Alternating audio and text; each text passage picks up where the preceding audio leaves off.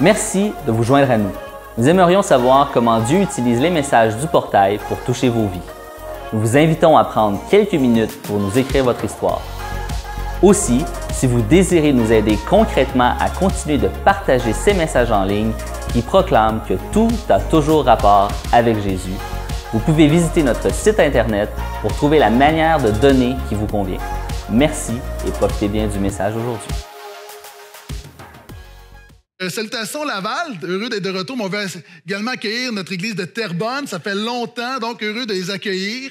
Est-ce qu'on peut justement leur donner une bonne main d'applaudissement?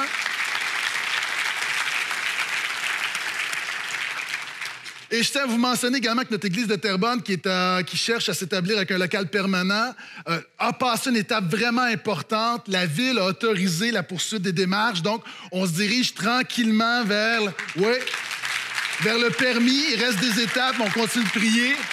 Donc, euh, on est content de vous accueillir. On est content d'accueillir Saint-Eustache pour la première fois également qui joint à nous. Saint-Eustache qui aura son premier baptême très bientôt, déjà. Alléluia. Et euh, je tiens également à vous remercier pour vos prières après une petite tournée de deux semaines en France. Euh, merci. Merci pour vos prières qui ont fait la différence. Euh, comme j'ai mentionné, euh, je me suis promené bon, un petit peu Dijon, Strasbourg, donner des conférences, former des leaders, des pasteurs, enseigner de jeunes ouvriers, prêcher. J'ai prêché une douzaine de fois. Et merci pour vos prières, c'est grandement apprécié. Et vous savez, je me suis promené chez les pentecôtistes, chez les baptistes, les apostoliques, les réformés, avec un seul message que tout a toujours rapport avec Jésus. Et vraiment, j'aurai l'occasion d'y revenir un petit peu plus la semaine prochaine parce que je vais me concentrer sur Haïti. Mais Dieu fait vraiment quelque chose. Euh, en Haïti, en dans la francophonie, Dieu est à l'œuvre. Dieu est à l'œuvre, Dieu agit. Et euh, ce matin, j'ai le goût de ressortir mon créole. Vous savez que lorsque. Euh, moi, il y a une grâce sur mon ministère. J'ai toujours eu des églises et des ministères multiculturels. Toujours des gens. Et euh, jeune pasteur, j'étais arrivé dans un endroit et il y avait une bataille en disant non, on est une église noire, on est une église blanche. Et moi, je disais non, on est une église caramel. Euh, oui. Et souvent, souvent, j'entendais les frères et les sœurs d'origine haïtienne parler de moi en disant euh, ce pasteur-là, c'est un bon pasteur, lit pas fréquent et c'est un petit pouchon.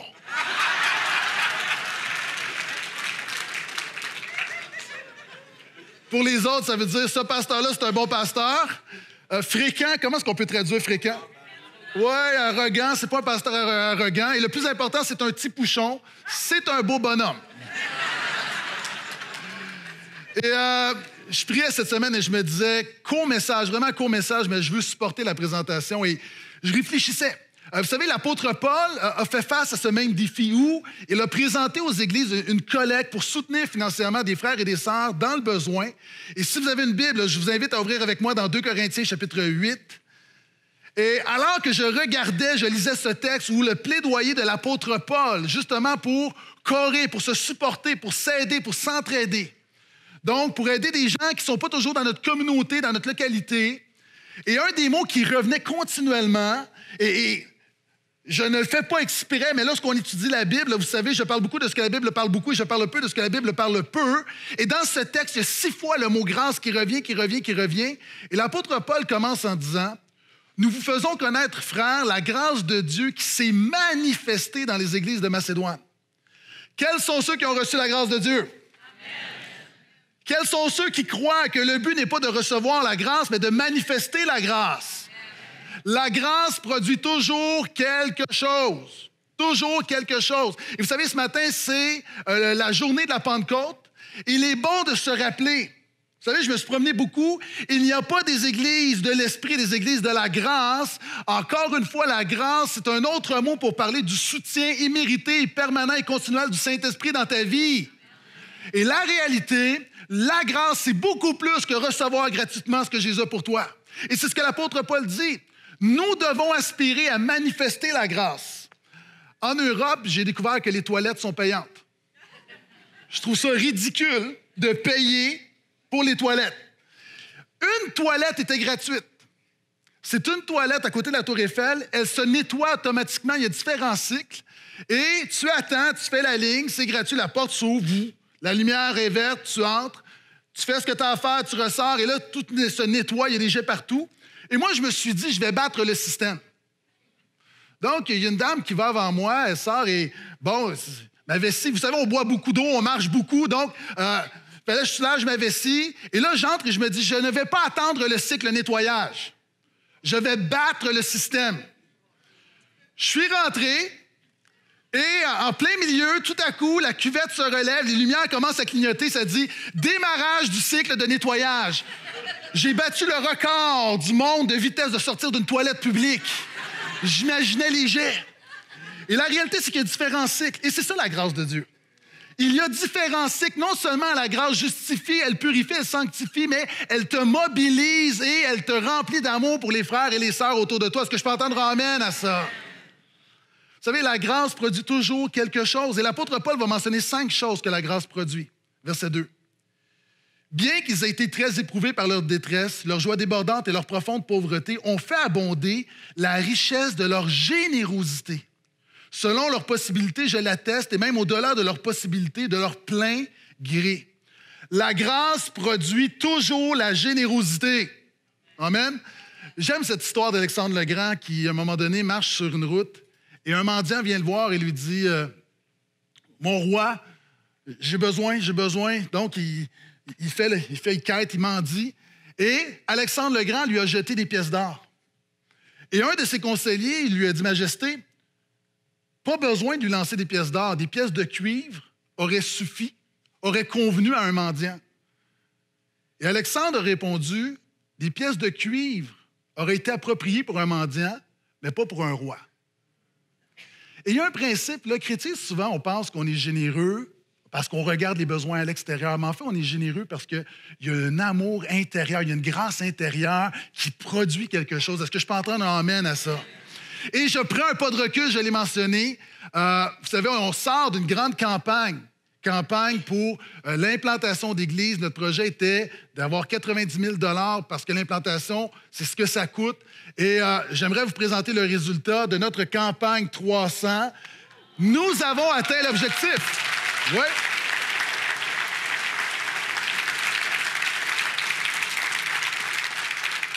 Merci Jésus, merci à vous encore une fois. Et vous dites, mais c'est quoi le rapport? Il y a un rapport, c'est l'argent.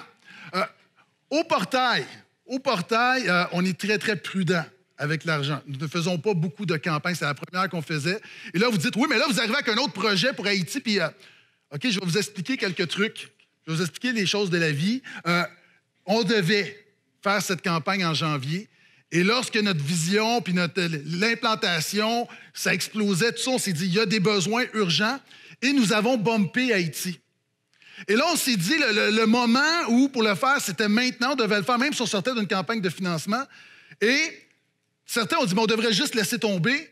Mais l'équipe pastorale a dit, est-ce que c'est convenable de pénaliser Haïti pour la mission locale? Donc, on a décidé d'aller de l'avant, d'autant plus que, vous savez, il y a différents besoins, il y a différents projets. C'est un projet plus modeste. Et on s'est dit, il y a une règle au portail où personne n'est obligé de donner à quoi que ce soit. Mais on pense que c'est notre devoir de vous donner des opportunités. Et quels sont ceux qui pensent que c'est une bonne chose ce matin de vous présenter un projet pour Haïti? C'est pourquoi on le fait. Et verset 4, ils nous ont demandé avec beaucoup d'insistance la grâce de prendre part à ce ministère de solidarité en faveur des saints. Les églises ont supplié l'apôtre Paul, non, on veut participer. L'apôtre Paul dit, non, non, non, oui, on veut, on veut, on veut. Et c'est l'esprit du portail. Je suis fier de cette Église qui, encore une fois, est toujours là, répond fidèle. Pourquoi? Parce que la grâce produit la solidarité. Il y a quelques années, j'ai été en Haïti et euh, ça a donné où, le matin, je prêchais.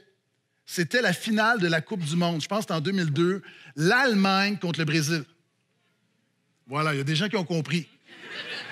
Moi, je me suis dit, ça va être tranquille, parce que l'équipe nationale d'Haïti ne participe pas à la Coupe du Monde comme le Canada d'ailleurs. Grave erreur. Les Haïtiens, à l'Église, ils avaient des chandails du Brésil, et le Brésil a gagné contre l'Allemagne. Et là, tout à coup, il y a eu une parade dans les rues, puis les gens, ils ont tout bloqué. Puis moi, je dis, mais, mais c'est pas votre pays. c'est pas votre pays. Mais les Haïtiens étaient plus excités que les Brésiliens. Ils étaient solidaires. Et l'apôtre Paul parle de solidarité, et moi je pense que beaucoup plus qu'une équipe de soccer, nous devrions être motivés, inspirés, excités par le royaume de Dieu qui avance partout à travers le monde.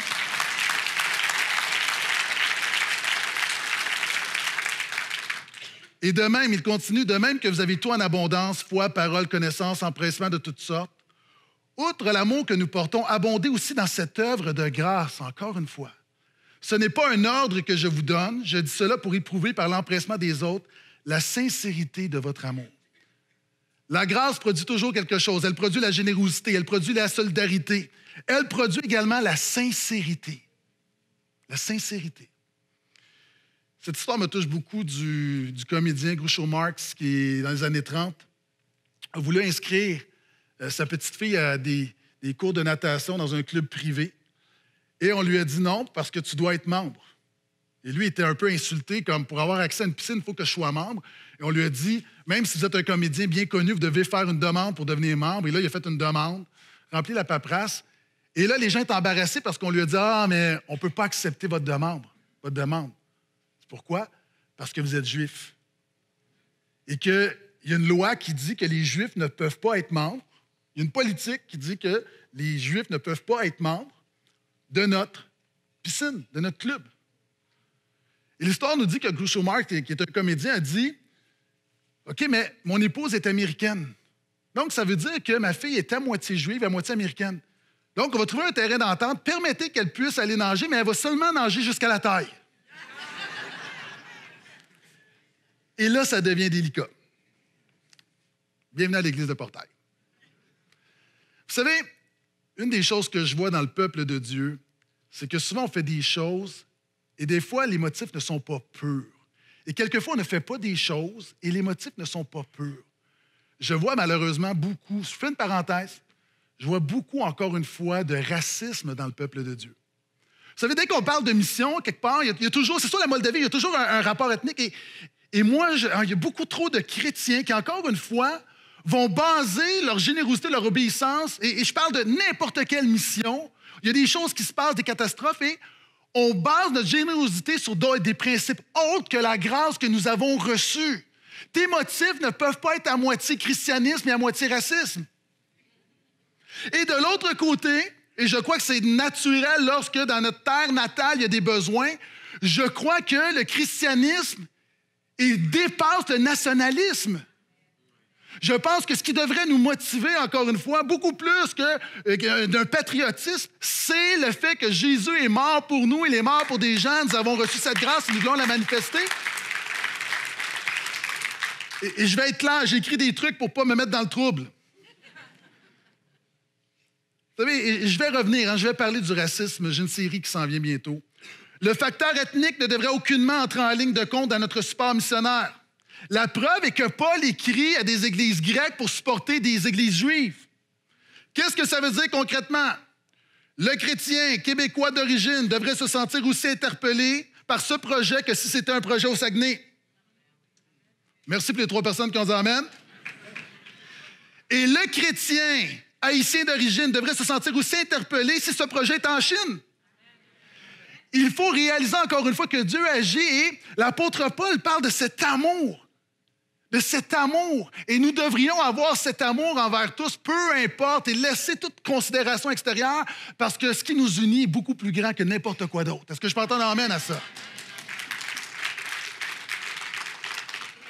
9 à 13.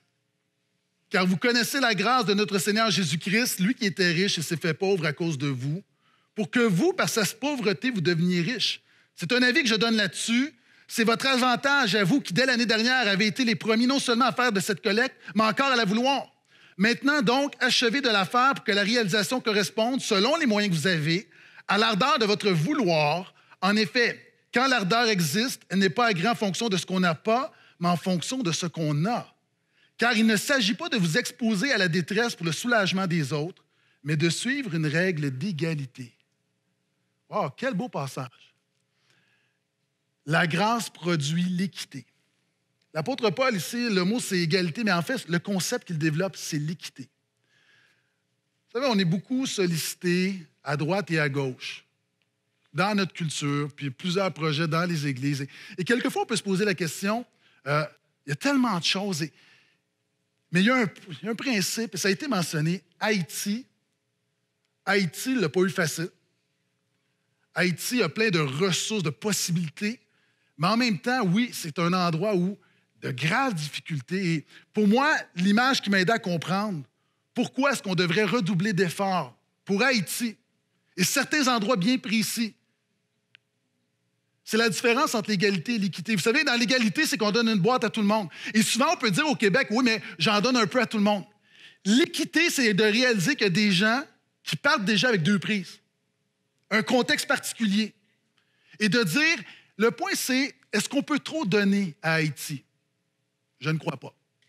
Est-ce qu'on peut être trop généreux pour la mission? Je ne crois pas.